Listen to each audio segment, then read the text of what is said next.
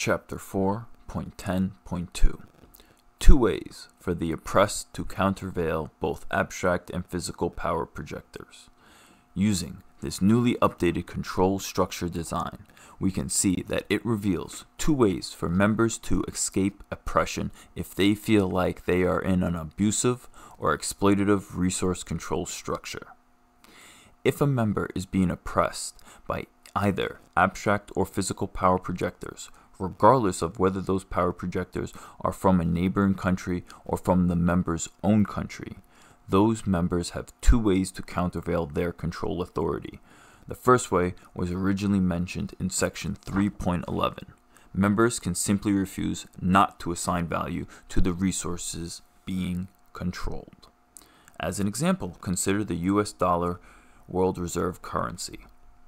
The US dollar is an international resource controlled by an abstract power hierarchy backed by the world's most powerful power projectors, the US military. The US military legitimizes the abstract power of its presidential republic, and by virtue of the design logic encoded into their rules of law, that presidential republic has executive control authority over the US dollar. While it is certainly true that both types of power projectors, the abstract power of the presidential republic plus the physical power of the US military, have control authority over the state of ownership and chain of custody of US dollars, that does not make anyone have to value United States dollars. Here, therein lies the key to countervailing U.S. power. Hypothetically speaking, if the US were to forget how this power structure works and became systemically exploitative and abusive with their control authority over US dollars, for example, if they started denying people access to US dollars through sanctions or debasing people's purchasing power by inflating US dollars.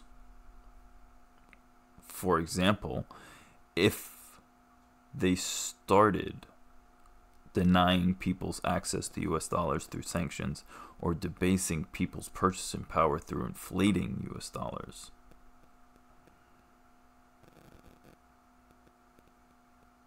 If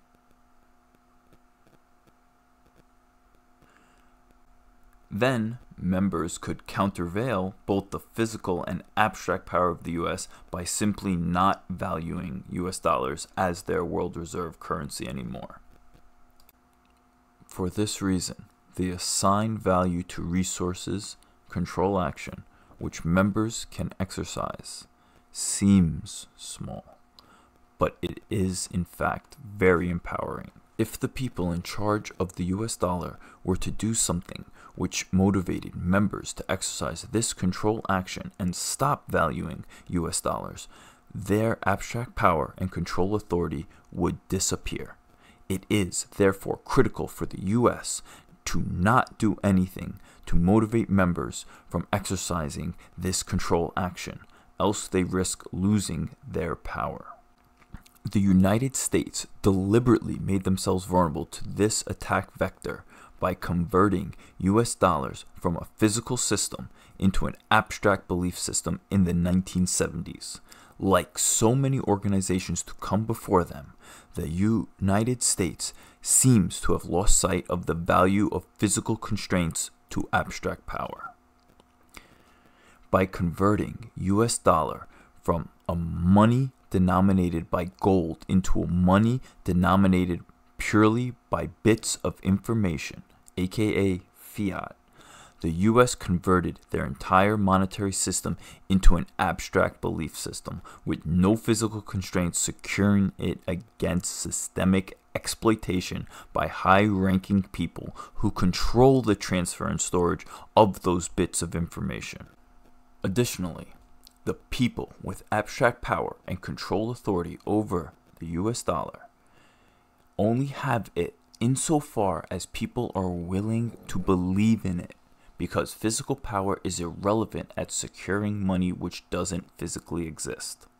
So, not only do members have the freedom to choose not to assign value to US dollar, they also have the freedom to choose not to recognize the abstract power and control authority of the people who control US dollar. This means the entire United States monetary resource control system is backed by nothing but the faith in the value of the dollar and the abstract power of the people who control the dollar. Of course, people can lose people can quickly lose their faith at any time. So it's imperative for the United States not to do anything to motivate people to lose their faith in the US dollar, which means it's imperative for the US to not deny people's access to US dollar or to degrade its purchasing power. Yet, in fiat form, there's nothing to physically constrain the US from doing either of these things.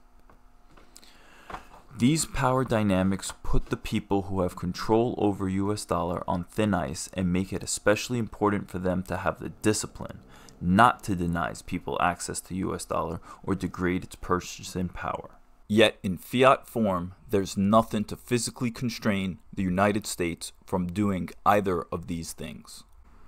These power dynamics put the people who have control over US dollar on thin ice and make it especially important for them to have the discipline not to deny people's access to US dollars or degrade its purchasing power. These people must be careful not to do anything to cause people to lose faith in their imaginary power, because if they do, their abstract power and control authority over this valuable abstract resource could quickly evaporate, no matter how physically powerful the United States is.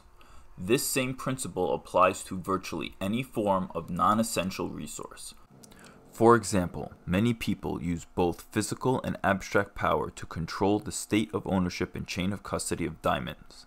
Both physical and abstract power over diamonds can be made obsolete by simply not valuing diamonds. There are, of course, some essential resources which sapiens don't have the option of not valuing food, water, oxygen.